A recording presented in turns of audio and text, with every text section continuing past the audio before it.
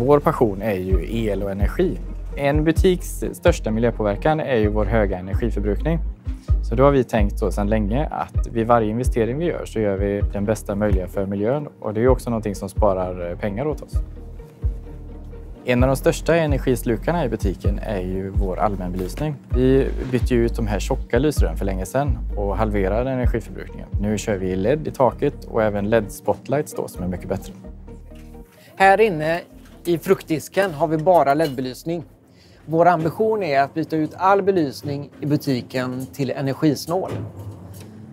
Vi har sett dörrar på alla våra kylar och vi sparar jättemycket energi på det.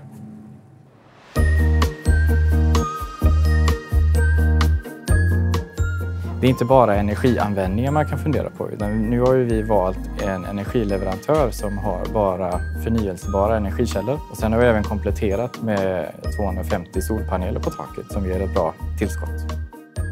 Är du med? Tack! nu sitter vi här på taket.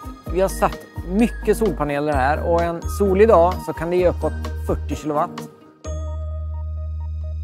Transportens klimatpåverkan på en enskild matvara är kanske inte så stor. Alla lastbilar kör ju fullastade hit. Däremot blir kundens väg till och från butiken en ganska stor eh, påverkan. Nu har vi tre stycken laddstolpar på kundparkeringen. Här kan kunderna tanka sin elbil. Ska vi se, bara koppla in här. Gratis. Det är bra. vi har också laddstolpar för personalen. Här är våran snabbladdare.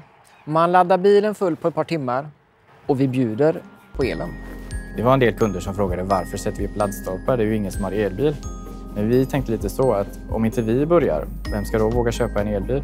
Valet att välja en elbil blir lättare när man ser att det finns laddstolpar. Och även förbipasserande kan ju tänka sig att stanna till här och ladda och kanske köpa en godispåse eller någonting medan de väntar.